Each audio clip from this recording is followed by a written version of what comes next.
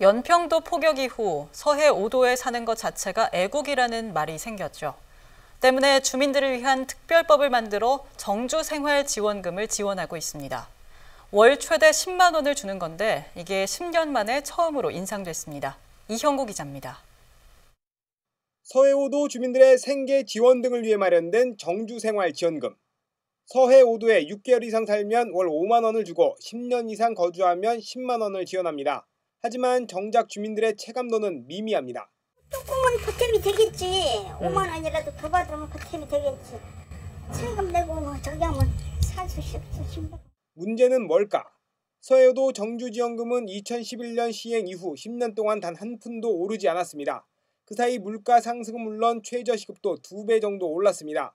서해 5도에 근무하는 공무원은 4배 더 많은 20만 원의 수당을 받고 특히 경제청 직원 수당과 비교하면 10배 이상 차이 납니다. 정주지원금 인상이 필요하다는 지적이 나오는 이유인데 10년 만에 20% 인상됩니다. 6개월 미만 거주하는 5만 원에서 6만 원으로 10년 이상 거주하면 10만 원에서 12만 원으로 오릅니다. 어, 척박한 환경에서 꿋꿋이 살아가시는 우리 주민 여러분들에게 아, 당연히 주어져야 될 혜택이라고 생각합니다.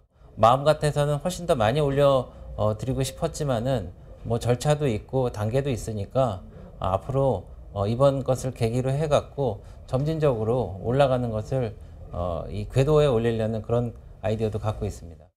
지난해 사업 기한을 채운 서해오도 종합발전 지원 사업은 다행히 5년 더 연장됐습니다. 인천시는 2025년까지 2,883억 원을 투입해 쉬운 두 건의 사업을 지속 추진한다는 계획입니다. BTV 뉴스 이영구입니다.